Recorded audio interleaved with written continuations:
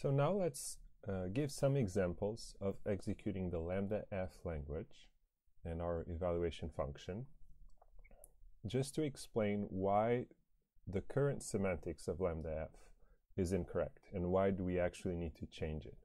So first I'm going to give you an example of a program that does what we expect.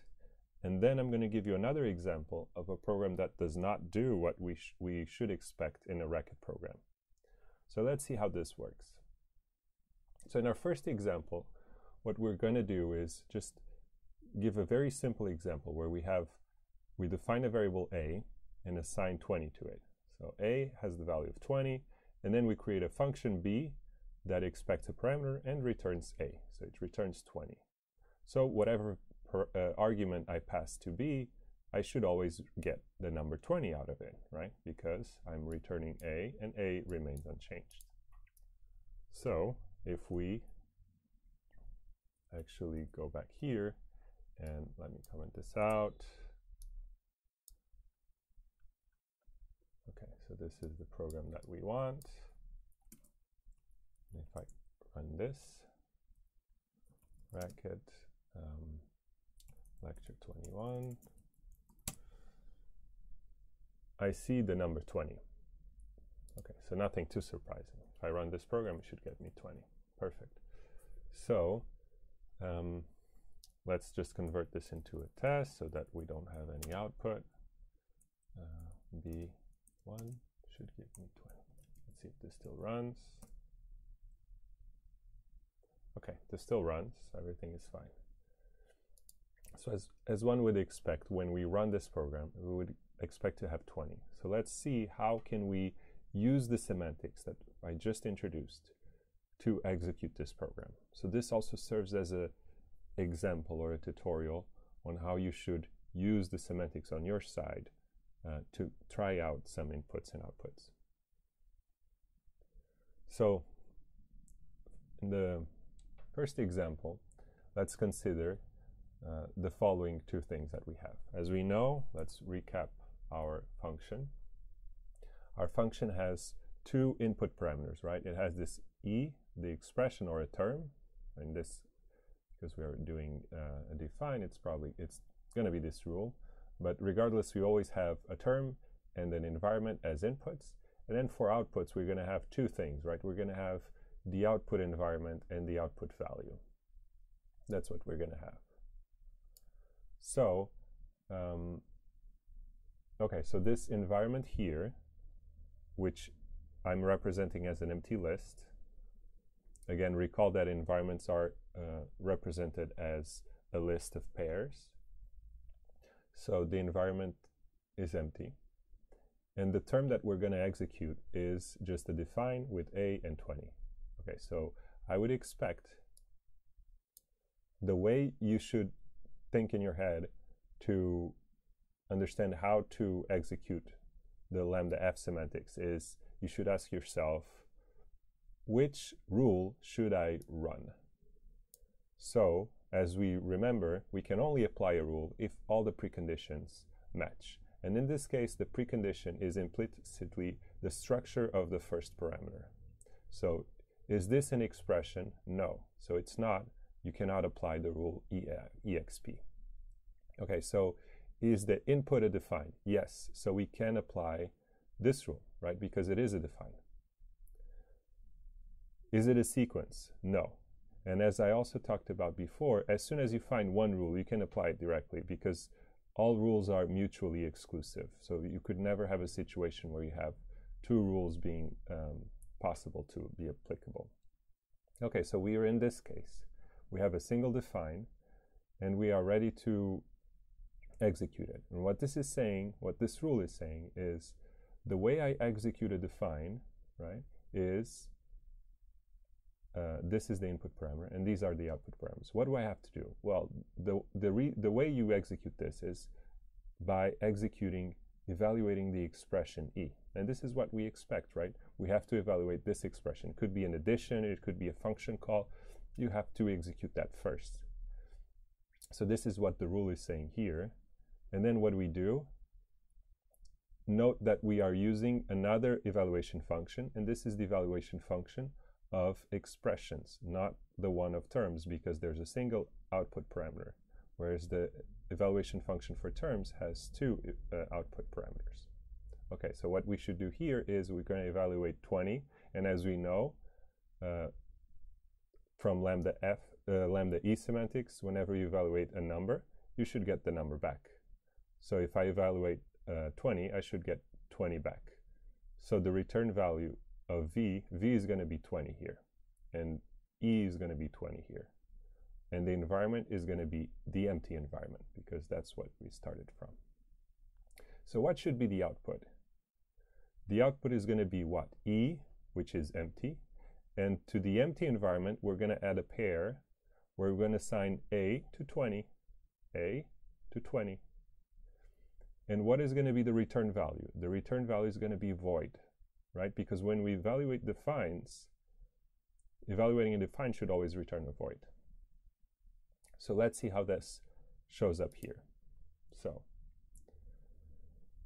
the input are two parameters, right? Oops.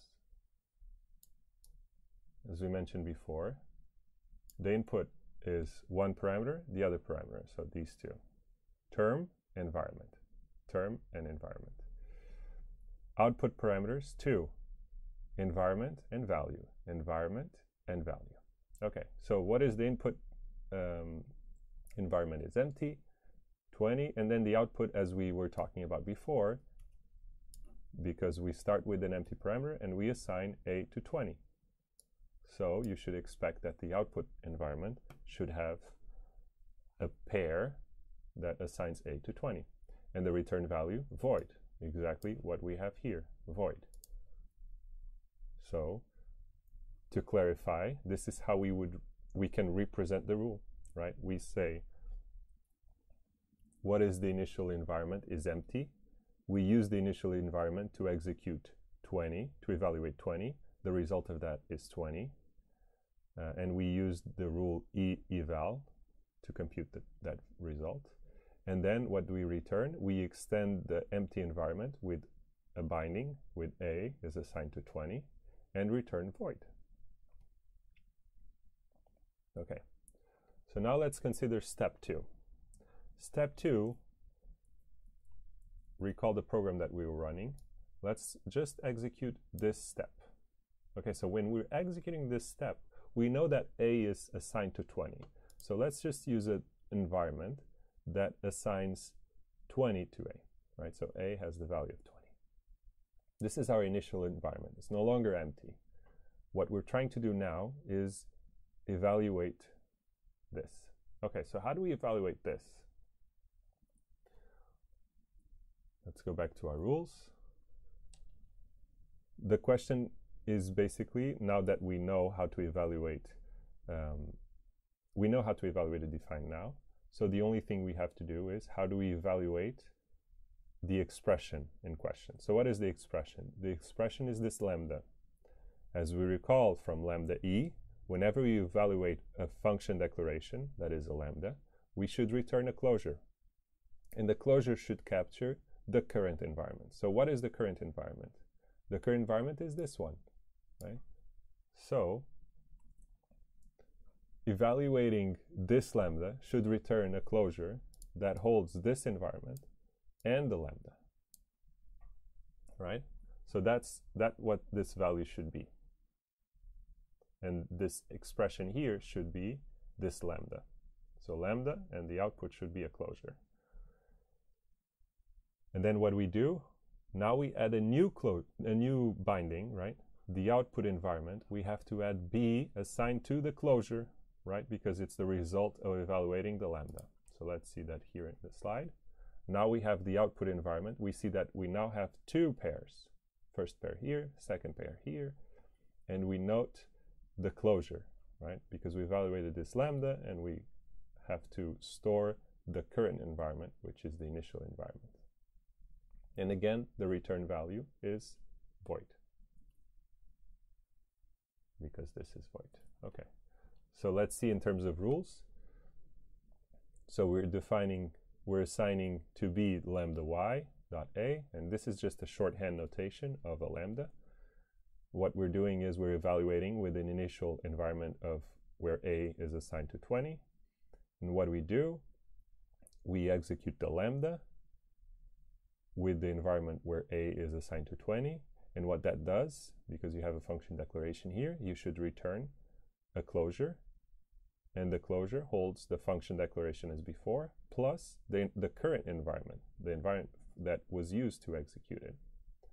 And then what do we return? We return void and we extend the environment with b, right? Because now we have b defined. Okay. So next step is what? Next step is we want to run uh, b of 1, right? Because let's go back to our program. We are, we are in this instruction. I've defined a and this, and now we have b of 1. And as you know, when I'm running b of b, uh, when I'm calling b and I'm passing 1, I already have a defined and b defined. So this is very clear in my environment. a is assigned to 20 and b is assigned to the closure, so the runtime value of the function declaration, which is which captured a assigned to 20. What we want to do, now we have a term here. The term is a function call of b with 1. So let's look at the rules again. Okay, so let's see which of the rules let's see which of the rules we're gonna run. The first one is, is it a sequence? No, it's just a single expression. So is it a defined? No, it can only be this rule, right? Because this rule is saying this has to be an expression, and what we have is, is an expression, it's a function call. So how do we do that? Well, we just call a function call directly using the same uh, evaluation function that we define in lambda e. So let's see how that works.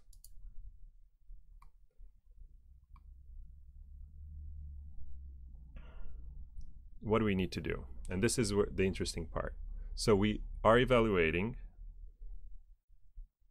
see, we're evaluating b, calling function b and passing argument 1. What do we do? We use the function evaluation for expressions. What that does is it's going to use the environment that we have, this one, and we're going to evaluate left to right. So the first thing we're going to do is we're going to evaluate b. Secondly, we're going to evaluate 1. And then what we're going to do is we're going to take the body of the function in b and replace the parameter, um, which parameter? Parameter y by 1. So first thing we do, we evaluate b. And as we know in the environment, b is assigned to uh, the closure, right, to this closure.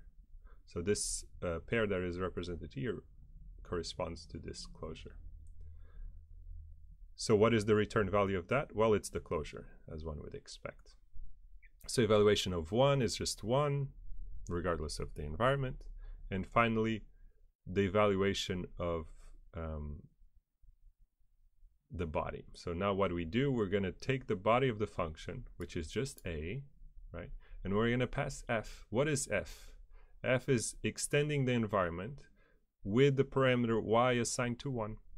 So our environment f is going to be this whole thing, right? It's going to be a is assigned to 20, b is assigned to the closure, to this closure, and now y is assigned to 1. We're not going to use y and we're not going to use b, but it doesn't matter. We still have to update the whole um, the whole closure, right? It's still accessible. So inside the body of the function of this closure, so of this lambda, these are all the variable assignments. Okay, so what we're going to do is evaluate a. Okay, so how do we evaluate a? a is a variable. So we have to do a lookup on the environment. So which environment are we using? Well, we have to use the new environment f that we extended with the parameter uh, y being assigned to 1. Okay, so that's exactly this. So what is the value of a?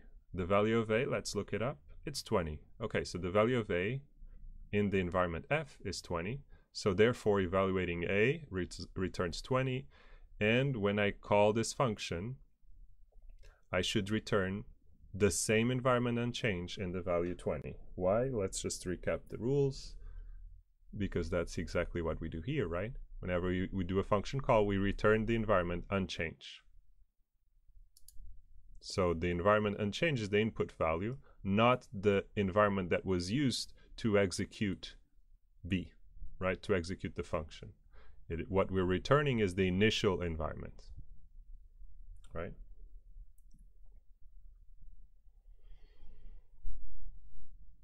Where is it?